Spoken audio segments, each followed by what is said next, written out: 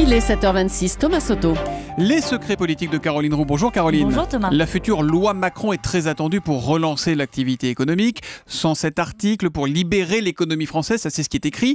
Euh, C'est le petit kit de présentation. Mais l'info politique, Caroline, c'est que la levée de bouclier est telle autour de ce texte qu'il est en phase de réécriture Oui. et de réécriture et de C'est réécriture. ça, texte retravaillé, en tout cas ça c'est sûr. Le principe même, Thomas, de couper le texte en deux pour le rendre plus digeste et plus lisible est même sur la table. Hier, le groupe socialiste a ouvert le débat, les négociations même avec Emmanuel Macron. Sans surprise, le sujet qui coince, c'est le travail le dimanche. D'ailleurs, sa proposition, vous vous souvenez, d'autoriser jusqu'à 12 dimanches travaillés par an a déjà, je peux vous le dire, du plomb dans l'aile.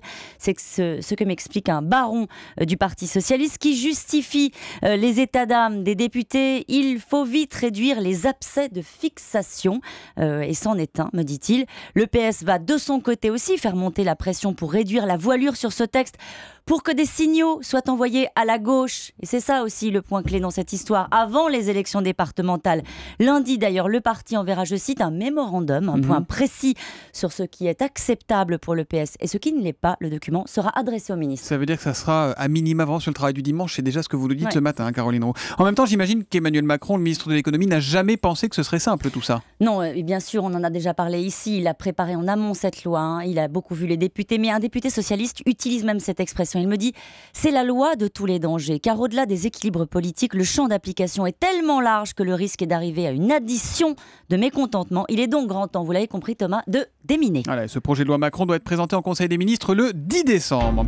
La question politique du jour, Caroline. Manuel Valls va devoir faire face à la colère des maires aujourd'hui au Congrès des maires de France. Qu'est-ce qu'il va leur dire? Alors ce sera un équilibre subtil entre Manuel Valls, Premier ministre, et Manuel Valls, ancien maire d'Evry qui connaît les contraintes du terrain. Il défendra naturellement les réformes, même quand elles sont difficiles, économie demandée aux collectivités ou réformes territoriales. Mais le Premier ministre viendra aussi avec des annonces Mhm. et avec en particulier une mesure pour soutenir l'investissement local très attendu par les maires. Avec ça, il évitera peut-être les sifflets. Ouais, notez qu'à 8h20, c'est François Barouin, le tout nouveau président de l'Association des maires de France, euh, qui sera l'invité de Jean-Pierre Alcabache. Et puis on va en entendre parler, Caroline. On va en entendre euh, parler la discrétion des barons de l'UMP pour célébrer l'élection sans doute de Nicolas Sarkozy à la tête du parti samedi soir. François Fillon se contentera d'un communiqué de presse. Quant à Alain Juppé, ses conseillers s'amusent en expliquant qu'il ira au cinéma. Plus sérieusement, que rien n'est calé. En faire moins dans l'enthousiasme, vous avez vu, c'est compliqué. Effectivement, les secrets politiques de Caroline Roux tous les matins à 7h25 sur Europe 1. À demain, demain. Caroline.